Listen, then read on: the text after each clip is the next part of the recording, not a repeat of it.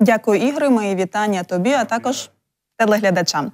Дійсно, live студія наразі розпочинає свою роботу, і у цьому часі говоримо про енергоефективність, а саме про те, що в Україні запустили відповідний фонд. Він розпочав фінансування перших 15 проєктів з утеплення багатоквартирних будинків. Однак при цьому виникли проблемні питання, які ж труднощі стали на шляху утеплення.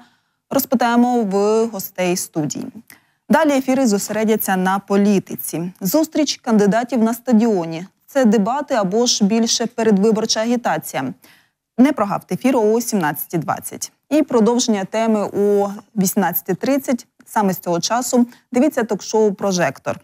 Феномен Зеленського це ефект серіалу чи ляпас політика.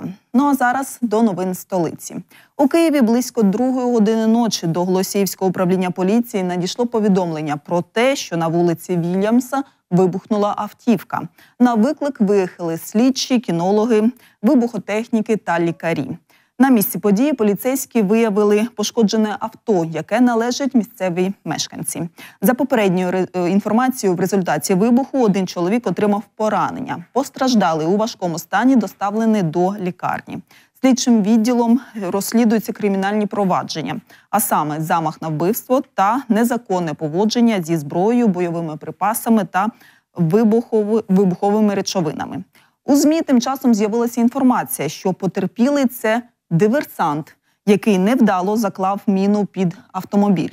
Нібито вона призначалася, призначалася цитую для офіцера української розвідки, розвідки, який брав участь у операції об'єднаних сил на Донбасі. Більше про ситуацію розпитаємо у військового експерта Олега Жданова. Він з нами на прямому зв'язку. Вітаємо вас, Олеже. Вітаємо, як чути нас. Доброго дня, чую вас. Так.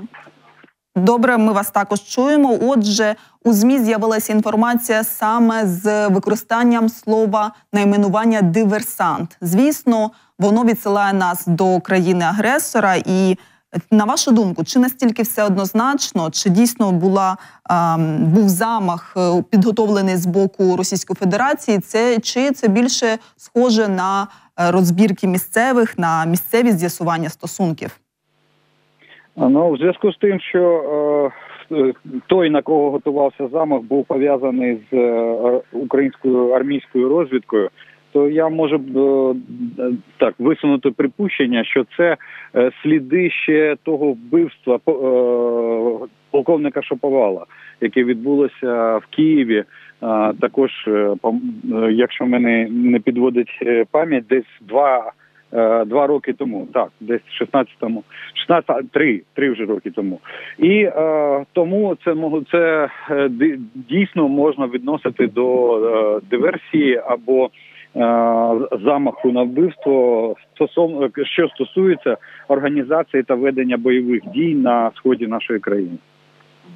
Але офіційні органи дуже обачно і так завуальовано говорять, пишуть про цю подію. Чому так? А, Ну чому? Тому що перше це пов'язано з розвідкою, а це ну дуже серйозна справа, і е, ми не можемо